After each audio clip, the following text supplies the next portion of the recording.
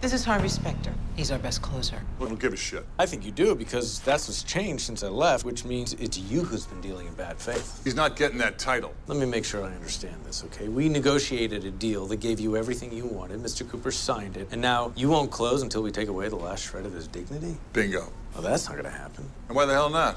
Because I like Mr. Cooper, and my firm doesn't operate in bad faith. Well, why don't you take your pansy attitude back in there and make him sign my deal? Or I'll pay someone else your money to do it for me. If you think anyone's going to touch this deal after your bad faith, you're mistaken. The way our agreement works is the minute Cooper signed the deal, which gave you everything you wanted, our fee was due and payable, which is why at 7:30 I received confirmation of a wire transfer from escrow indicating payment in full.